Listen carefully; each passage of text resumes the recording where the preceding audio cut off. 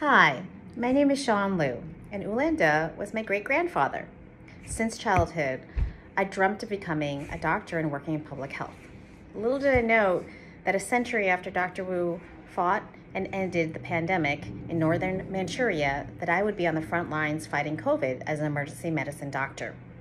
I was so grateful for the mask that he invented, a mask that was similar to one that protected me and millions of others. Hi, I'm Kylie. And when the school shut down, my mom signed me up for an online writing class. One of my assignments was to do a nonfiction story. And so we decided to do it about my great great grandfather, Wu Lien-teh. We realized there were not many books about Asian heroes. And so we, that's why we decided to do it about Wu Lien-teh.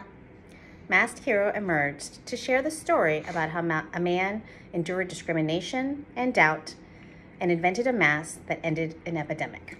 And just to remember, heroes come in all races and genders, and each and every one of you can be a hero.